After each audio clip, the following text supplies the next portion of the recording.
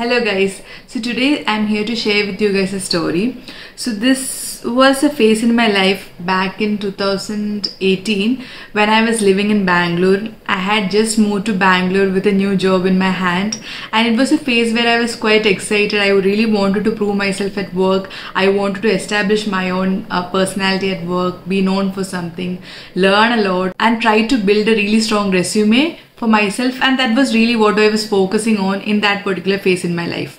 And this also meant that I'd be spending most of my time during the day, especially weekdays at office. So most of the days I would just wake up, pack my bags, get ready for work and then go to work. And then by the time I would come back, it would already be evening and you would also see people around you getting ready to wind up the day, closing the shops and getting ready to welcome the next day and so on.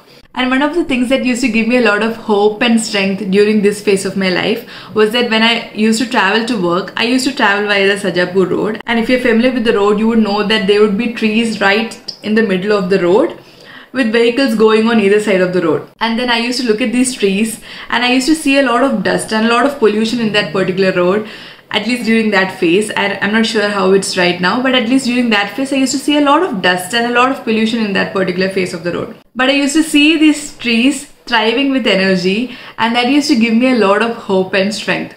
So, if you're also someone who's going through a particular phase in your life where you're focused and working towards one particular goal, then I would highly implore you to find one element in your daily environment where you interact with on a daily basis and try to gain strength from that particular element that will help you strongly ground your energy to this planet and gain strength or charge yourself from connect from the connection that you're building with that particular element it could be a tree it could be just cloud formations on the sky it could be anything that excites you so look around in your environment and try to find one thing that really sparks a lot of hope and inspiration and strength in your heart and then just connect with that every day so I really hope that this message inspires you in your journey of moving towards your goals. And if you're interested in learning more tips that can really help you in your journey, do follow along.